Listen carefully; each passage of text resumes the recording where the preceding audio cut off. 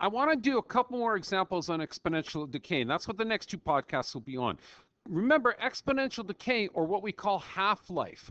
Remember this guy here has to be the half. Yeah, but check out how I rewrote this because you might see this on some diploma exam right? They may give you a formula. And here's the thing that you got to look at this formula. You'll notice that it has the half there. So remember at the beginning of all of these podcasts, we talked about all of that stuff that you learned in Math 10C. You got to remember that that negative right here actually means to flip this guy. So this this formula and this formula are exactly the same. The only difference is, is you got an ugly negative here. But you have to remember that negative means, yep, flip it. Okay? So, all right. So, with that in mind, let's look at this wonderful little problem here. Okay? So, half life, you got to remember, is the length of times it takes for something to decay to half its original amount. So, okay, let's go to town. This question here says, all right, half life of sodium 24, radioactive sodium is 14.9 hours. Okay, a hospital buys 40 milligram sample of sodium 24, wants to know how many milligrams to the nearest tenth of sodium will remain after two days. Well, that's an interesting question. Let's take a look at the formula. Remember, AT, so there's our total, just like always. Always start with your initial amount. That's still the initial amount. You're talking about half-life.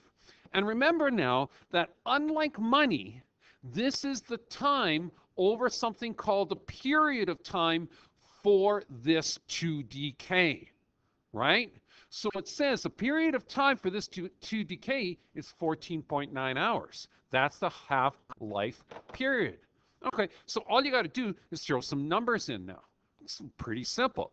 40 milligrams of this stuff. You got a half-life here. You got a time here, 48 hours. Notice that 48 hours and hours has to match. So you got a total of 48 hours over a period of 14.94 to start to decay. Okay, all you got to do is throw that in your calculator and now crank out a number. It's pretty easy. 40, right? Half-life, so I'm going to put an alpha. I like that fraction button. Did I mention that before? Yeah, I think so. Okay, outside, there we go, boom, okay? And then this is going to be raised to the power of, there's that fraction button again. So you can actually see that this is 48 hours, right? Divided by the period for each half-life, 14.9 hours.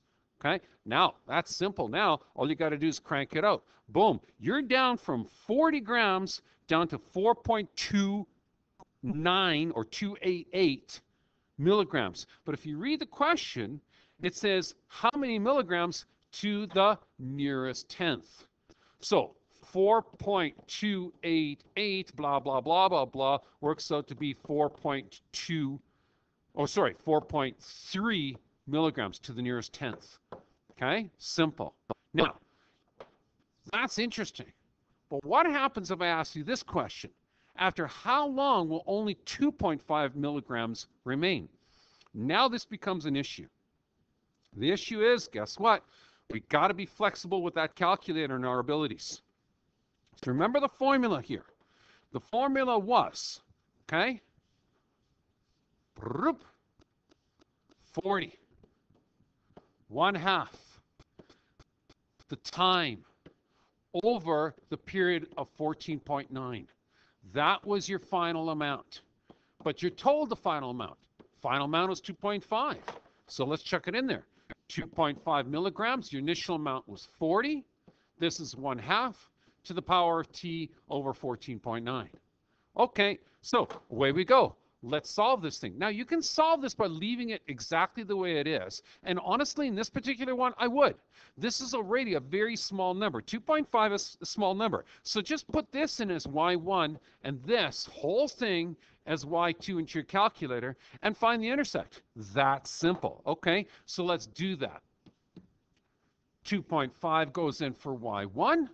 And then, of course, 40 times, there's the alpha again. There's the 1 half.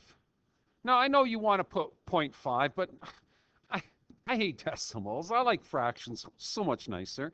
Raised to the power of, now, again, there's your alpha. And the reason why you're putting in a fraction here is remember, your x goes on top over the period, which happens to be 14.9, right?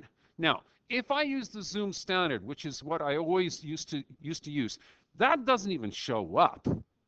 Okay, well, which one is the blue line again? Let me look again. Let me see. The blue line was that 2.5. So obviously that red line, oh my goodness, is is got to be, and since this is a half-life, think about it. It's going to start way the heck up here and start going out that way. This blue line is going to be here. So this intersection could be, I don't know, could be out here in the 20s, in the 50s, right?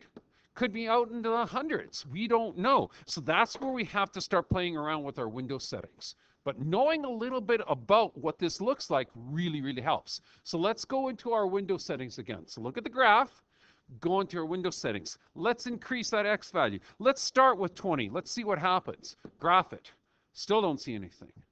Okay, let's keep on going. Window setting. Let's go up to, oh, I don't know. Let's go up to 50. Let's see what happens. 50. Graph it.